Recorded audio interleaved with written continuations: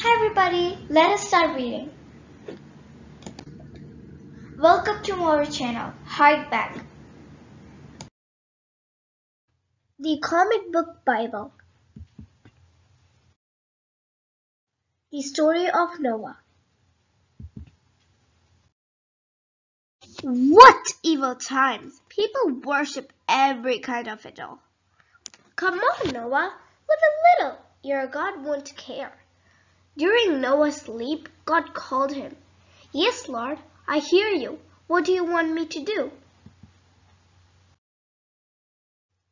Noah called his family and said that family, the Lord has run out of patience. He wants to cleanse the earth and make a fresh start, and we have a building project. His friends were talking about it, and Noah called the project Ark. He's saying that he got the from God. What has God turned into him?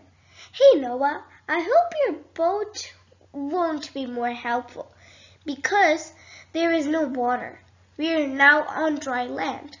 Noah's family said that you would be better head home, sir.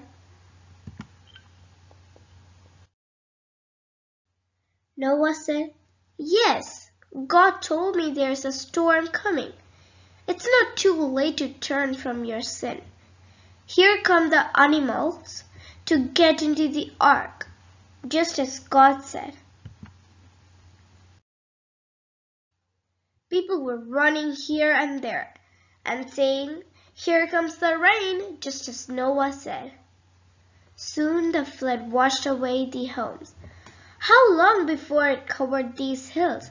I wish we were on the boat. Noah's family said that the rain stopped after 40 days and the flood has been receding for weeks. Yes, dear, that's why I'm releasing a dove. If it doesn't come back, it has found dry land. The dove returned. Noah released another dove. It returned and brought an olive branch. There must be a few treetops showing. Finally, Noah's third dove never returned. Looks like we're heading for a dry land.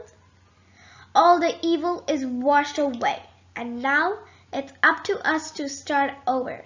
Oh Lord, our family begins this new life worshiping you. This is a rainbow, God's reminder that He will never send another flood.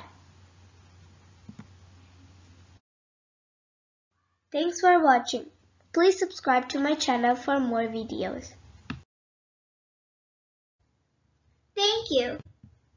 Like, share and subscribe to our channel. Hark Back and step forward with us.